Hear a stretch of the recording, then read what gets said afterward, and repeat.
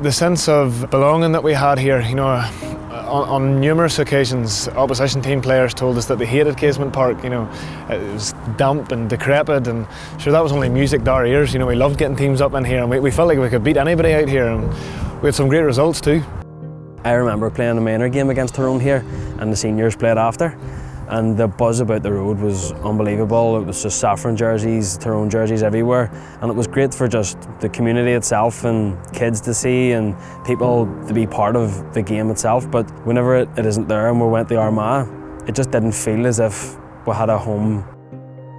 It's terrible to see it in the state that it's in, but to me it was always more bricks and mortar. And there's a lot of um, emotional attachment for people to Casement Park because it was always a place that was more than just a venue to play hurling or football, it was a meeting place.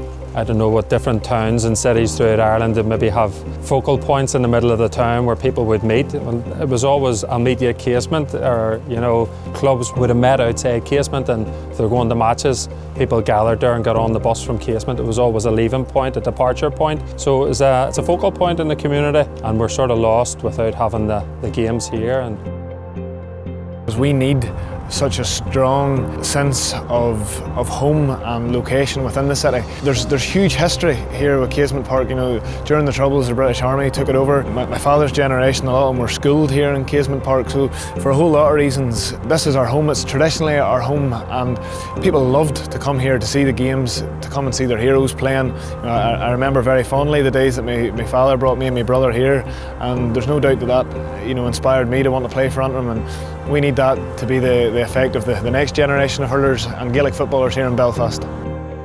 Your main playing days are in your 20s obviously and not to be able to play here at all or experience it again is very disheartening. It's so important that Casement Park is rebuilt because without it we're effectively homeless as a county. We have no centre and we, we need a flagship stadium here in Belfast. You know, this is home to over 350,000 people.